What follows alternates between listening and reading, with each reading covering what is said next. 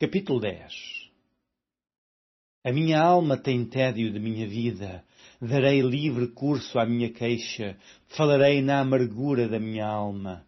Direi a Deus: Não me condenes. Faz-me saber por que contendes comigo. Parece-te bem que me oprimas, que rejeites o trabalho das tuas mãos e resplandeças sobre o conselho dos ímpios. Tens tu, porventura, olhos de carne? Vês tu como vê o homem? São os teus dias como os dias do homem? Ou são os teus anos como os anos de um homem? Para te informares da minha iniquidade e averiguares o meu pecado?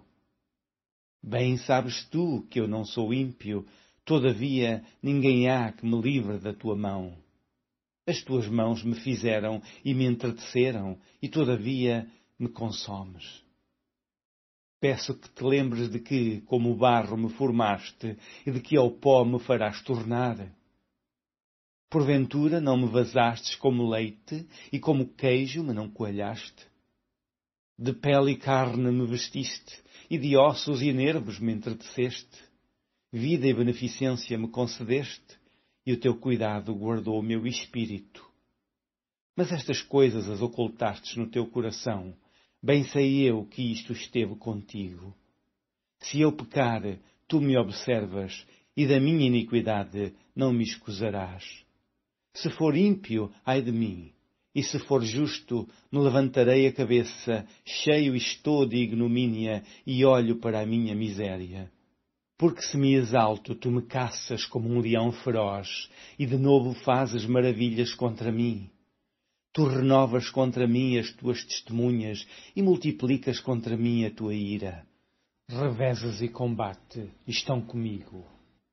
Por que, pois, me tiraste da madre? Ah, se então dera o Espírito e olhos nenhuns me vissem. Então fora como se nunca houvera sido, e desde o ventre seria levado à sepultura. Porventura não são poucos os meus dias?